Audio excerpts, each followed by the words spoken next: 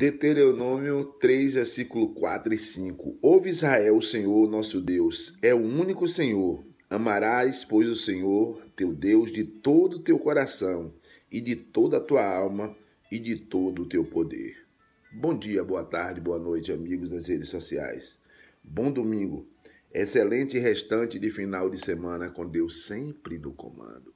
É tudo de nós, forevermente, assim de verdade. Obrigado, Senhor por me ensinar o caminho a seguir. Obrigado por tu me cobrar diariamente o caminho da retidão. Papai do céu, estou aqui para te agradecer por todos os livramentos e por todas as bênçãos recebidas de ti. Abençoa todos os teus filhos. Máximo respeito. Shalom Adonai. Hoje tem expresso Do Reggae. Compartilhe o nosso vídeo. Nos sigam nas redes sociais.